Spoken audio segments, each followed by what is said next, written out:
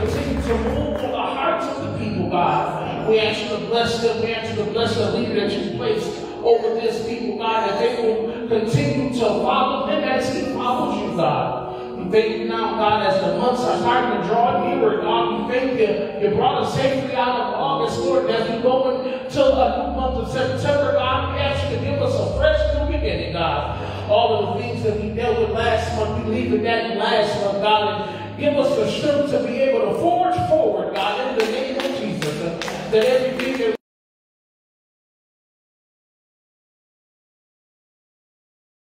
here at this altar, God, whatever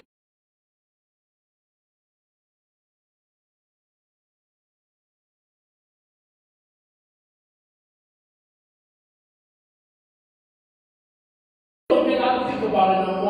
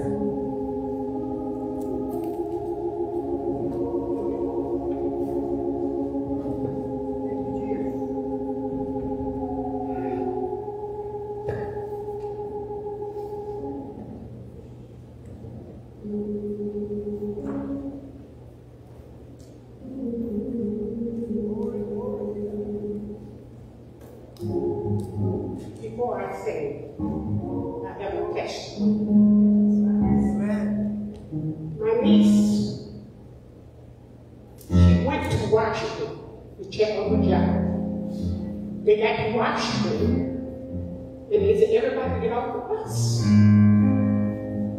Everybody got off the bus for her. She was already dead. She had a massive heart attack. So two days later after this, my other niece called me and said, Martha, could you check on my daughter? And I said, what's the matter? She said, oh, her father. So it's been like one thing to another. But when you get to the point that you can pick them, mm, you say, come on. Yes. In the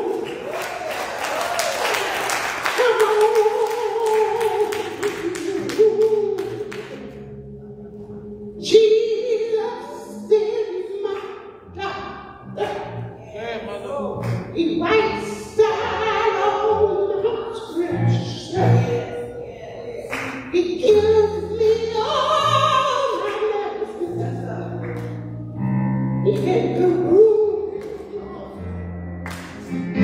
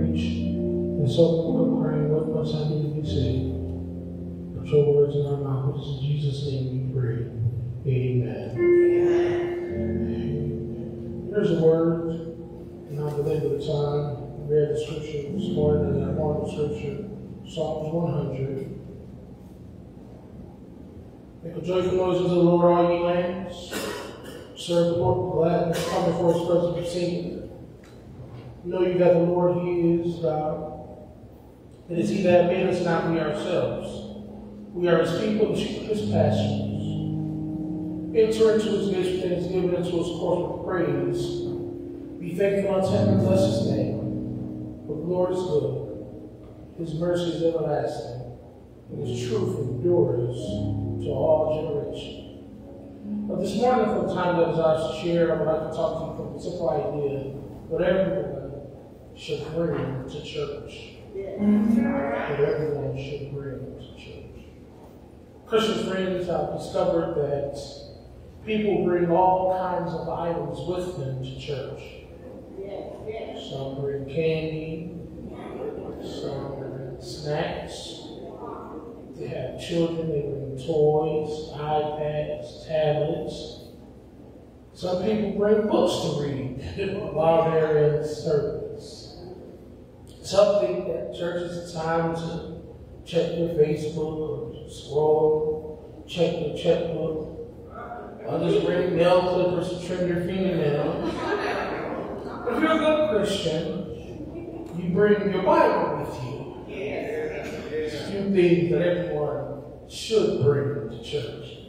Psalm 100 is a psalm uh, that describes what worship will be like the day that the Lord Jesus reigns in glory and power on earth. We're not in those glorious days right now, but we, our family of God, are commanded to gather ourselves together and worship in His church. That's the purpose of us gathering here every Sunday. Hebrews 10 25 says, Not forsaking the assembly of ourselves together as in the manner of some, but exhorting one another, and so much the more as you see the day approaching. With this in mind, uh, let it be said that the Psalms tells us exactly what we should bring with us when we come to church. This morning, if you don't mind, I'd just like to take a few moments and we can explore this thing together and make sure that after today, when I come to church, I bring the right thing with me. Uh, the first thing that you see here in the text, you have to bring with you the right spirit. Uh, saints and friends, bringing the right spirit uh, can happen in a few different ways. Uh, the first type of spirit you need to bring with you is a shouting spirit.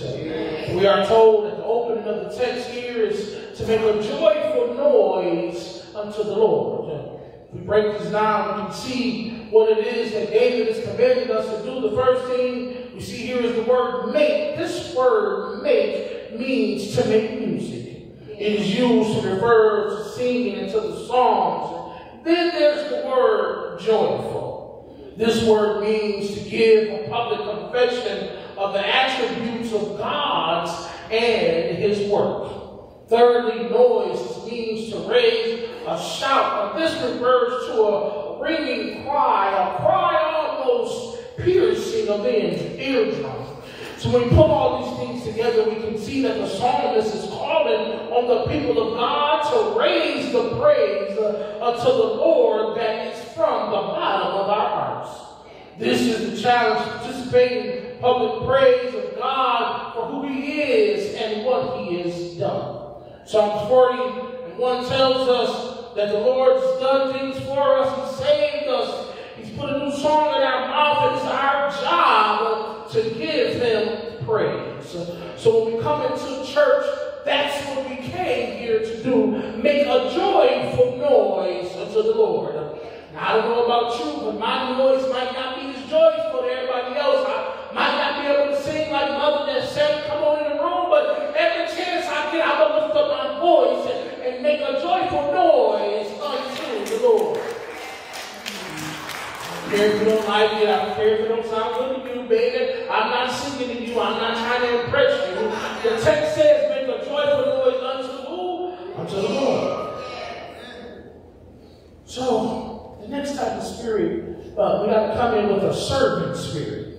Uh, the word serve means to be in bondage to. It refers to doing whatever the master tells us to do. It means that we are to be at his beck and call. When we got saved, we became the Lord's property.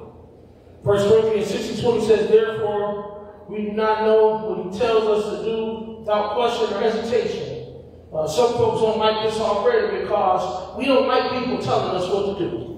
Uh, well, if you don't like that, then you're not going to like to see that uh, he tells us to serve him, not only to serve him, but to serve him with gladness. I remember growing up, my mother would tell us to do something, and if we walked away too rough, you know, she didn't like it. She called us back, and you know, and I, I was going to do what you said. Do no, no, no, but don't walk away from me with an attitude, you know. And that's what he said. He said, if you want to serve me, you got to serve me with what? With gladness.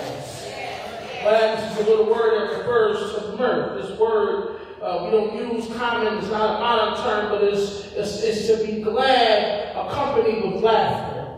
This verse is telling us that when we serve the Lord, we should do it so that we are filled with love, regardless of what it is. We are excited to do it. We are filled with mirth every time we get a chance to come to church.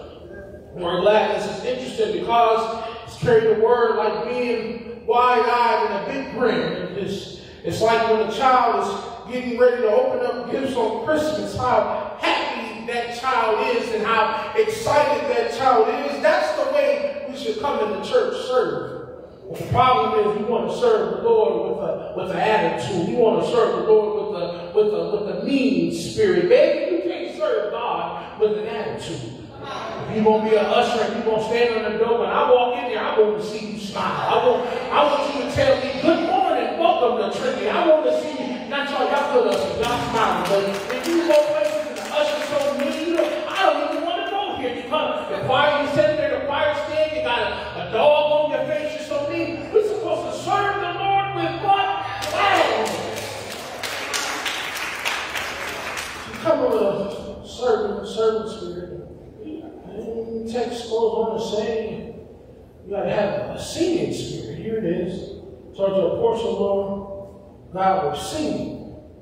The word refers to the ringing cry, shout of joy. Our hearts should be filled with the wonder of who God is and what He's done for us. We are allowed in His presence, and when we get here, our innermost being should burst out with song.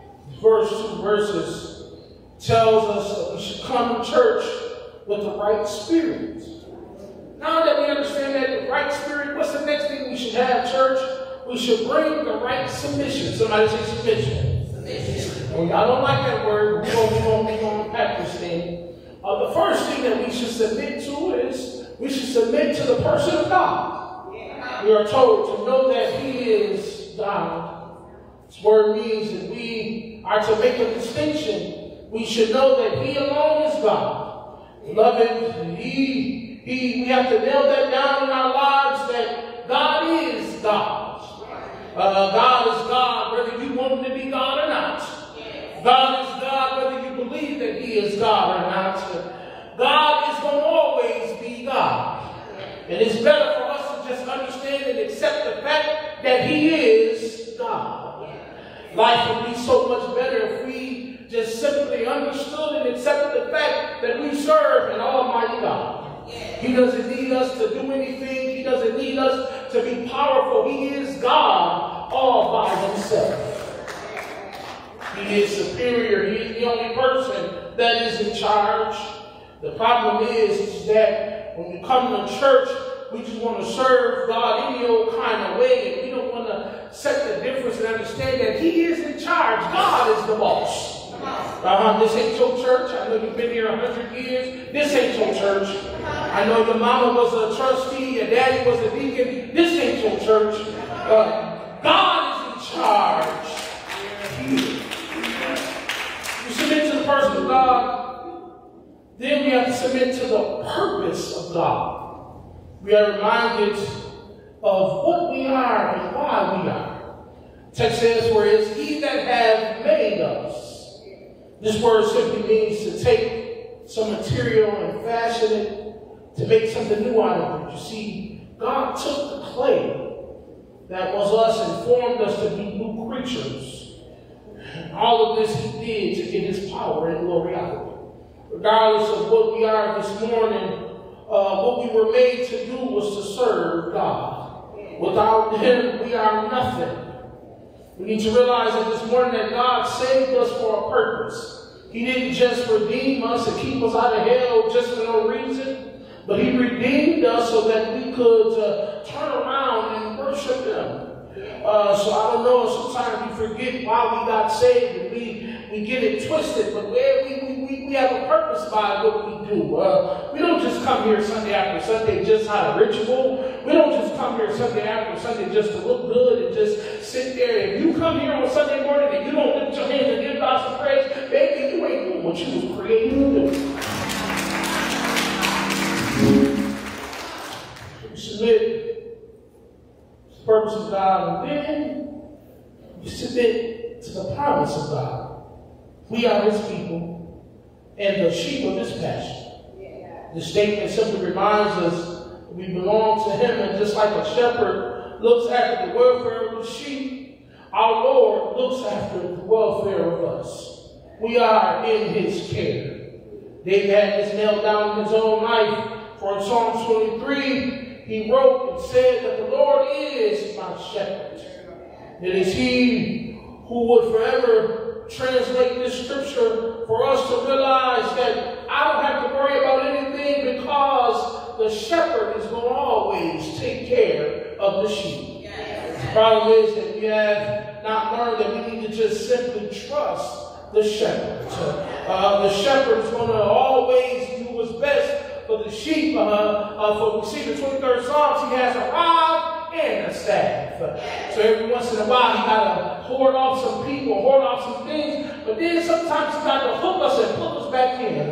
I don't know about you, but I thank God that every once in a while I go a little too far, that the shepherd is there to pull me back in. So we don't practice so quickly So we bring the right spirit, bring the right submission. Then we have to bring the right sacrifice. Tabernacle, temple days, the priests had to enter the presence of the Lord. You had to bring the right sacrifice. In order to bring the sacrifice, something had to die.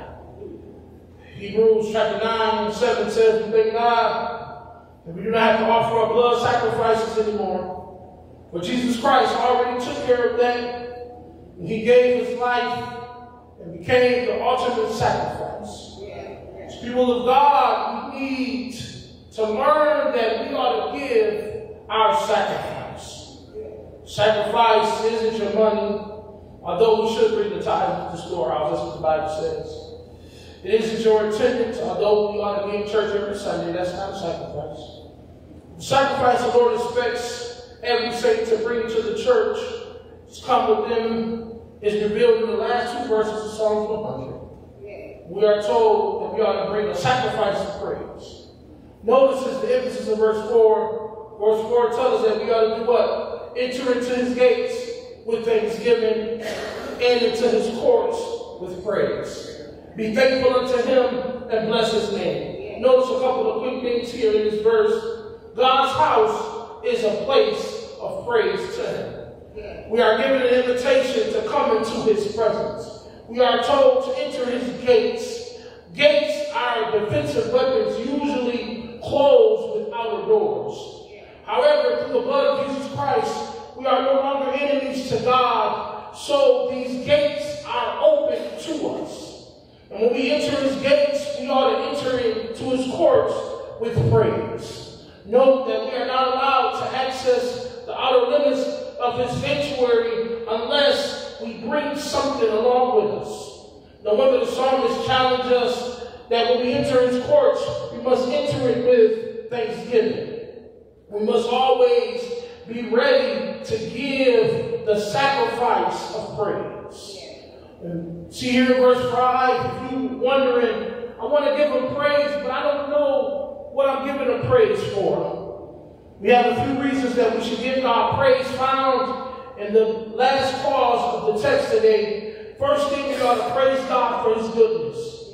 We are told the Lord is good. And it seems like a limited description of God, but the word good doesn't just mean good.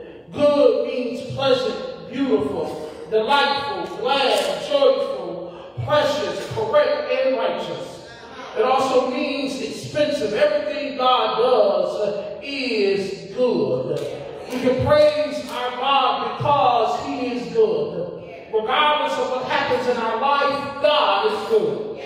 No matter how things turn out for us, God is still good. Therefore, we must always praise Him for His goodness. The next thing we see here in the text that we must praise him for his grace. We are told that God's mercy is everlasting. We can praise God because he is constantly extending his grace and mercy to us as we go throughout life. As mercy is defined as not getting what you deserve. We live in a time where everyone wants what's coming to them. But I can testify today, I don't want everything that I deserve. If I got what was coming to me, hell is where I would lift up my eyes. If you got what was coming to you, you wouldn't deserve to be here this morning. So I'm glad to say that I'm happy because of his grace and his mercy. God hold back the wrath off of our life. 2,000 years ago, his son Jesus took our place on an old rugged cross. While he was dying there, he was dying because he knew that he had to bear the sins of the world. When God saw him hanging there that day, he poured out his wrath on the person of his own darling son. So because of that, Jesus took the place of me so I don't have to worry about getting what it is that I truly deserve. You can sit here and pretend like you live the best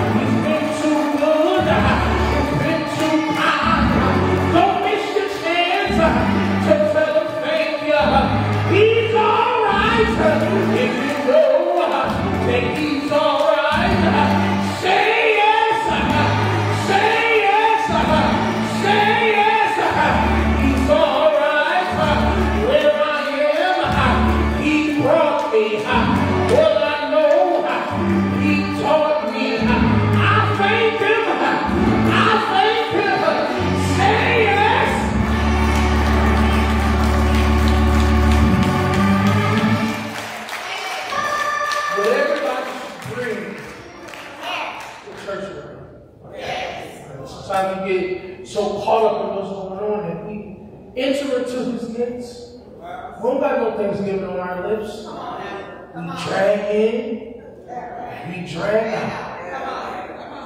Come out of ritual. I'm not going to church today. I don't, I don't feel like it, but we were created to praise Him. You can't come into the house and praise What are you doing? So we thank God every chance we get to come into His house. We can't take it lightly. Some folk can't even gather in corporate places like this and give God praise, but we can. We take it for granted. He's been so good to us.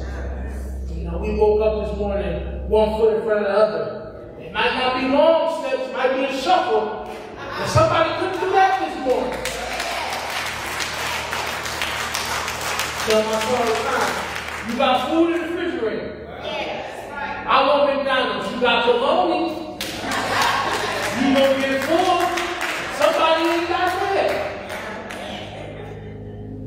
our job. Make a joyful noise unto the Lord. Don't wait for the choir. Don't wait for the devotion. Bring your praise with you. Bring your praise. You bring your praise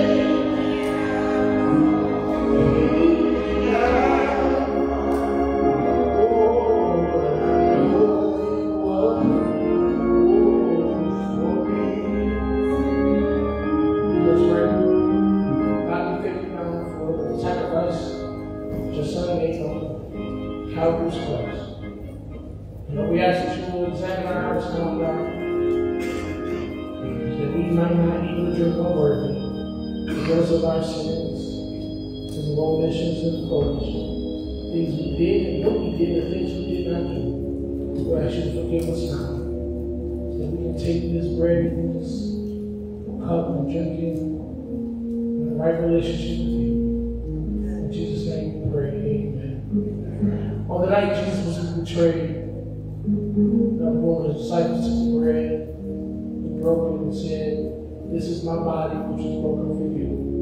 Shall we eat together?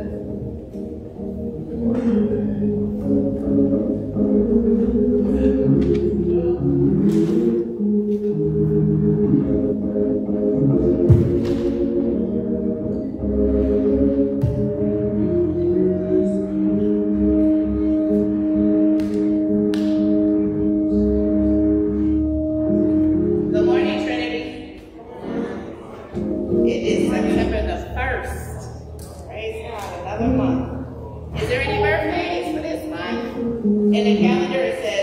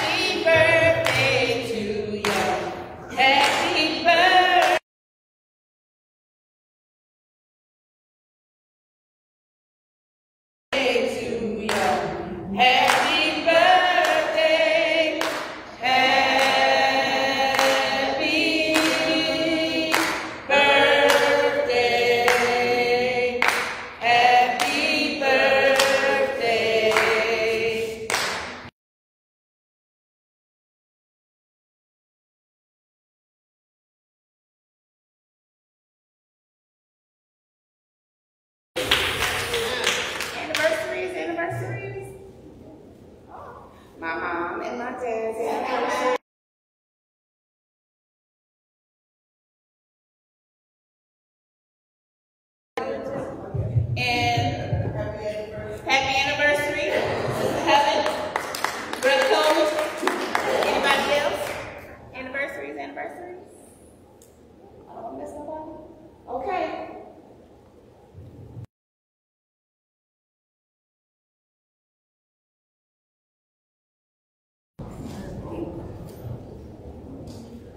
I gotta shout out my best friend is here. He hate to be put on the spot, but I won't say who he is, but my best friend in the whole wide world came out to hear me preach today. So I appreciate you, Brother Brown, for coming out.